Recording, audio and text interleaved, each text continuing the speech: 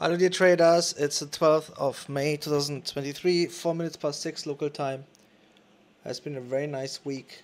Um, I've done the trades from this week and today. The long dollar CAD was amazing. The long pound Aussie was amazing. Um, short silver, short cable, short Aussie. So, yeah, really good. Taking profit on those.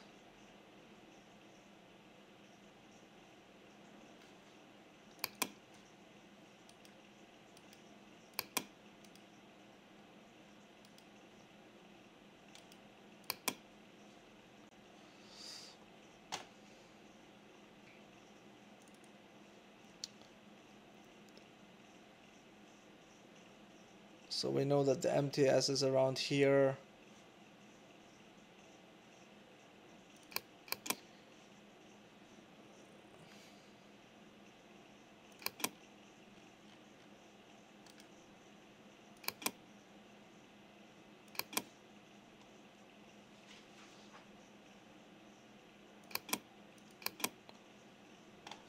Nice.